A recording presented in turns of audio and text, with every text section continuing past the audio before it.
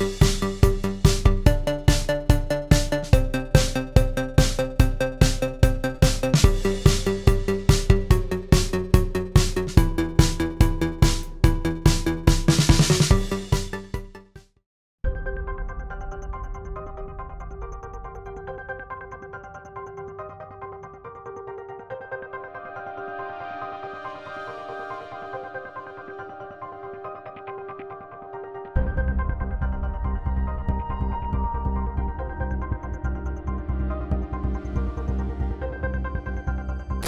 qué querría 10 Ferraris, 20 relojes de diamantes o dos aviones? ¿Qué harán esas cosas por mí y por el mundo? Yo pasé hambre, trabajé en el campo, jugué descalzo y no fui al colegio. Hoy puedo ayudar a la gente. Prefiero construir escuelas y dar comida o ropa a la gente pobre. Pero tía, ¿cómo no va a querer 10 Ferraris? Este lo único que quiere es quedar bien delante de las cámaras. Lo siento, no cuela. No, hombre, pero tú no sabes quién es. Un futbolista que quiere 10 Ferraris, 10 yates y todo lo que, todo lo que le den. Pero no sabes quién es, no sabes nada de su vida ni nada sobre él. Mira, vamos a buscarlo, a ver quién es. Mira, a ver. Futbolista, senegalés.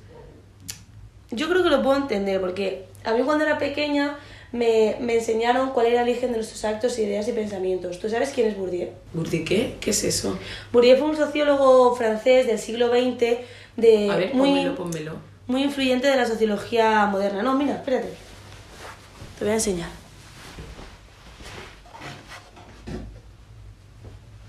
Vale, tengo aquí su libro. Te lo voy a explicar.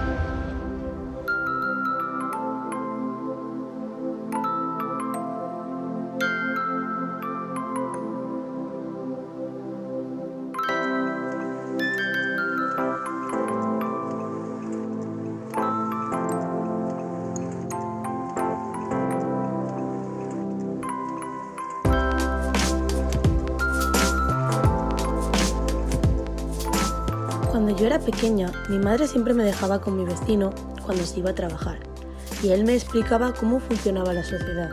Me dijo que una sociedad era la suma de relaciones entre personas, y él lo denominaba como espacio social.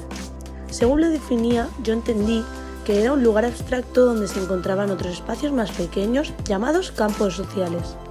Su orden dentro del espacio viene determinado por las similitudes y diferencias de cada uno de estos. Físicamente nos lo imaginamos como una esfera donde se desarrolla la vida social, que se rige a través de específicas relaciones sociales.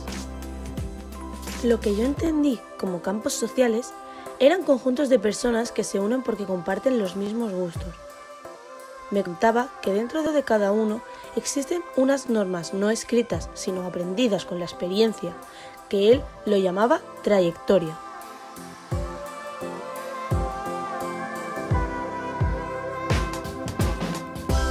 Los diferentes grupos sociales se diferencian según sus intereses, objetivos y reglas, pero a su vez estos mismos también hacen que se te relacione con otros campos. Por eso él me decía que estábamos dentro del mismo, porque a pesar de que él leía y yo no, a ambos nos gustaba cocinar. Con todo esto me dio una lección porque me hizo comprender que la cultura y los amigos son igual o más importantes que el dinero. Me explicó que existían diversos tipos de campos, como el político, el religioso, el escolar, el artístico. Generalmente cada persona pertenece a un solo campo, aunque es bastante probable que a lo largo de su vida pueda moverse de uno a otro.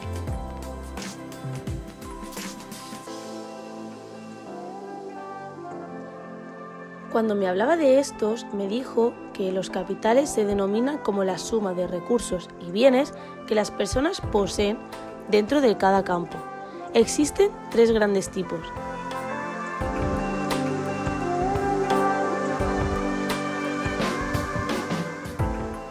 El económico se refiere a los recursos que derivan del dinero. El social son todos aquellos vínculos que las personas crean entre sí, como por ejemplo el conocer a alguien influyente. El cultural son todos aquellos saberes, conocimientos y certificaciones que una persona puede tener por cuenta propia o avalada por instituciones. Estos tres tipos pueden crear un cuarto, es el capital simbólico, que es el reconocimiento social que obtiene una persona por sus capitales en su campo. Gracias al capital simbólico, una persona tendrá poder para influir en los demás mediante la palabra. Por ejemplo, en el ámbito académico será el capital cultural lo que dé prestigio a un profesor, de la misma forma que en una persona de negocios dependerá su capital económico para obtener reconocimiento en el ámbito empresarial.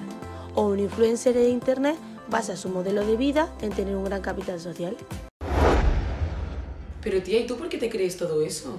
Pues por el capital simbólico que él tenía cuando me lo explicaba, es decir, él sabía de lo que me estaba hablando. En definitiva, el capital simbólico es el poder de la palabra.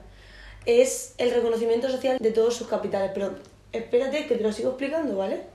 Un día estaba en su casa y me enseñó una foto en la que salía gente con traje. Fue con esa foto con lo que me explicó lo que era el hábitus, que según entendí yo era la manera en que una persona actúa de acuerdo al campo que pertenece. Por ejemplo, si el campo de los negocios considera que ir en chándal no es de buen gusto, elegirán ir vestidos siempre con traje. Lo que hace que hagamos algo o que nos guste está determinado por el campo en el que estamos. Sin embargo, me dijo que esta regla de los campos no era definitiva, ya que hay personas que pueden cambiar de campo a partir de su personalidad o las experiencias que hayan tenido a lo largo de su vida. En definitiva, el hábitus indica lo que debe hacer el sujeto, pero a la vez es lo que el sujeto quiere hacer por sí mismo. Entonces, a ver si lo he entendido. ¿Podríamos hablar también de programas de televisión como por ejemplo Mujeres, Hombres y viceversa? Para tomar un claro ejemplo de que se puede poseer un bajo capital cultural Exactamente. teniendo un alto capital simbólico. Un poder, el poder que tienen esas personas. Porque por eso cuando tú has antes has hablado de que Sadio Mané, ¿cómo no iba a querer los 10 Ferrari si es un futbolista? No sé qué. Hay que basarnos en eso porque a pesar de que ahora tiene un gran capital económico, sigue estando en el mismo hábitus que antes, ¿sabes? ¿Y quién habías dicho que te ha dicho eso? Pues es que es una larga historia.